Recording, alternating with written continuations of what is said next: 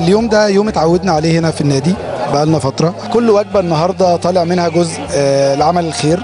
العام الماضي حضرتك من الدورات الرمضانية قدرنا نطلع جميع الغارمات من سجون مدينة المنصورة.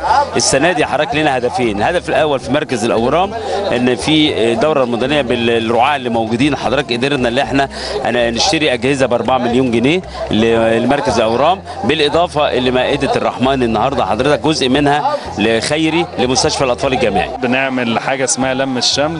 بنجمع فيها الأعضاء كلها. الأعضاء كلها صغير كبير شباب سيدات. رجال كله بيتلم في اليوم ده بحيث إن هو يكون يوم آه، بيجمع كل فئات النادي.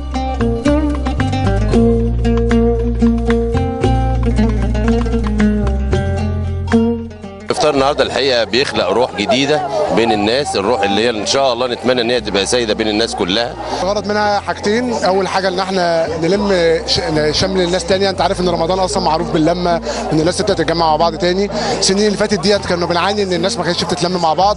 فإحنا قلنا إن إحنا نعمل الفكرة إن إحنا نلم الناس اللي في النادي يبقوا موجودين مع بعض كلهم ويبقوا موجودين معانا. الفكرة الثانية وده الأهم في الموضوع كله إن في جزء كبير من الفلوس نسبة 30% تقريبا بتاعت الوجبات المطاعم جايبها لنا مطاعم متبرعة بيها لله عشان تساعد بيها. كل سنة في كان في حاجة السنة اللي فاتت كان الغارمات السنة دي بإذن الله إن شاء الله في مستشفى الأورام. نلم الشمل منها بنتعرف آه، وبنحيي سنة ومنها بنساهم في حل مشاكل المجتمع لأن المجتمع المصري هيتطور بينا كلنا.